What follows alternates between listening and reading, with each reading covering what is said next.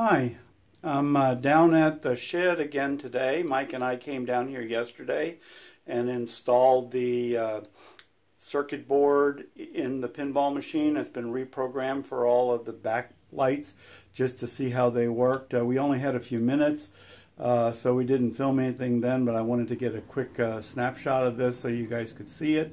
Uh, we have a couple of problems. I'm uh, just going to show you those, and then I'm going to pull the card out, take it back home, and reprogram it. So, uh, real quickly, let me spin the camera around and show you the table.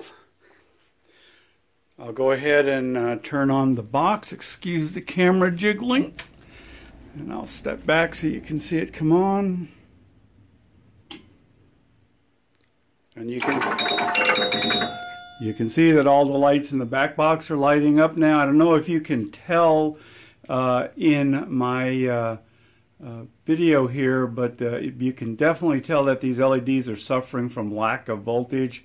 Obviously, uh, uh, we need to put in more power wires. Th that plan is always there. So let me show you the two problems that we've seen so far. Down here at the bottom, uh, both those lights should be on. And the problem is I'm turning the left light on twice and I'm not turning the right light on ever because I uh, put the wrong number in the matrix. Uh, so I can fix that very easily. And the other thing that is still here is the problem I showed you the other day um, where the same player shoots again light down here on the play field uh, is still turned on. And I've looked at the code and it all looks perfect to me. So this one's going to take a little bit uh, uh, of troubleshooting. Uh, so there's a couple of other things. Uh, if we pick up the, the lid here and look underneath, uh, you can maybe make out, I don't know if you can or not, but that light is red. And I programmed that light to be red, which tends to tell me uh, that it's the correct LED in my matrix.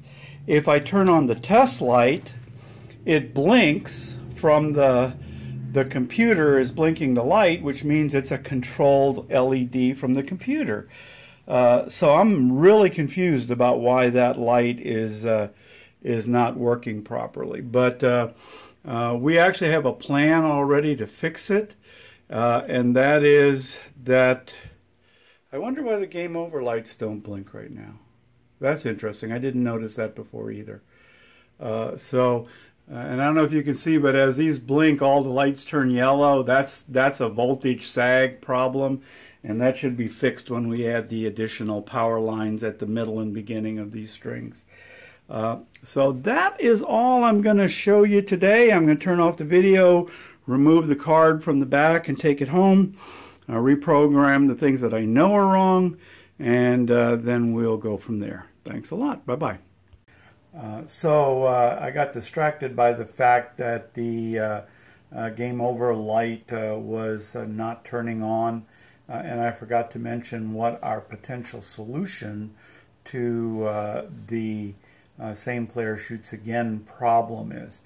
The, this computer actually has two outputs from it, or I should say the, the pinball machine MPU has two output two outputs that turn on same player shoots again lights. One turns on a light on the play field and the other one turns on two lights on the back glass.